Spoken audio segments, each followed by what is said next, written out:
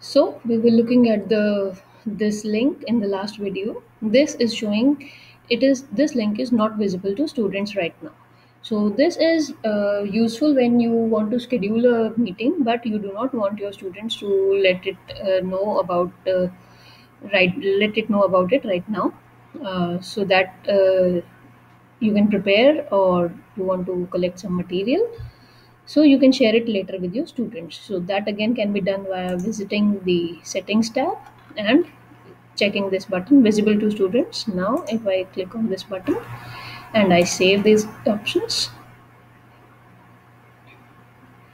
now you can see this link is visible to everyone. Now whenever any student logs into their class and they come into the uh, their classroom and they will see this link available in their classwork or stream as an announcement meet link. This will be available in their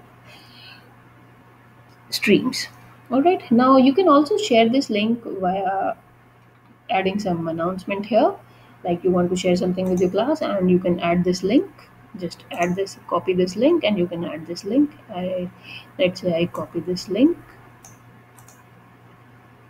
Copy link address and I can add this link here alright add link.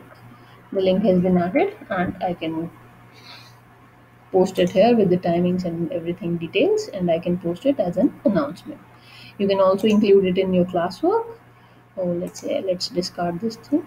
Uh, so if you want to uh, include it in any of the assignments or any of the questions or wherever you like all right so you can use this google meet with google classroom.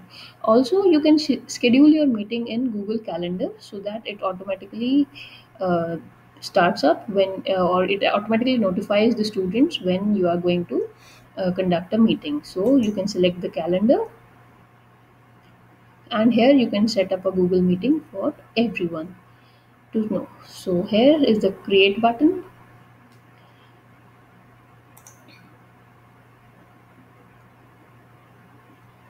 so with create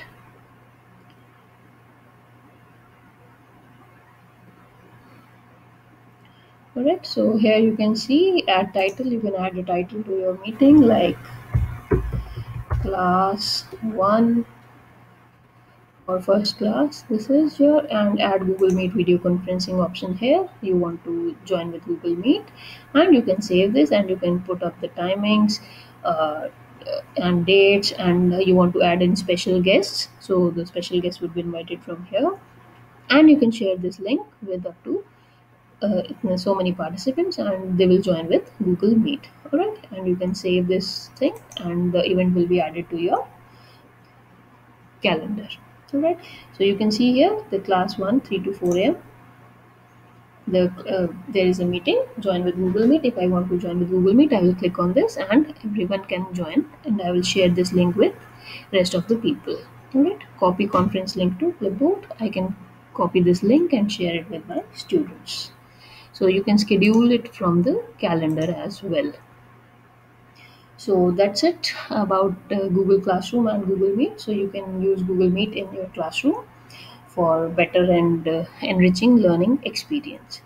Uh, in the next videos we will learn for about some more add-on features of uh, that can be integrated in google meet and make it a very nice tool for uh, communicating with your students. All right. So before that we will need to discuss about uh, google chrome extensions. So let's begin with extensions in the next video